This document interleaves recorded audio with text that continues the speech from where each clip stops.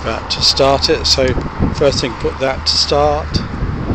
The engine on run here, and the starter switch is there. There's the choke. I'm not sure how that works yet. And it starts quite easily. Here, quiet. No funny sounds coming from it.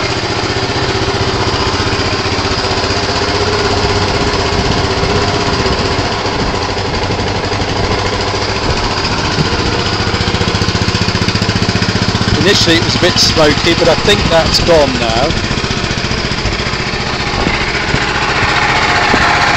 Hear a fan from the engine.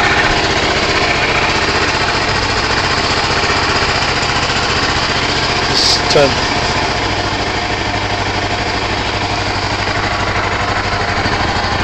Very smooth. The bike itself is very high.